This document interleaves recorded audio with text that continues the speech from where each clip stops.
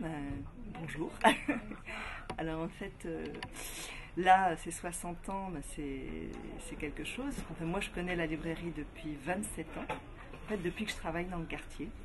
Et euh, là, je suis accompagnée d'un lecteur, donc de mon fils. Mais euh, je peux dire que depuis 27 ans, j'y suis venue régulièrement, mais surtout depuis ces dernières années, parce que je me sens bien ici, je me sens bien avec les libraires.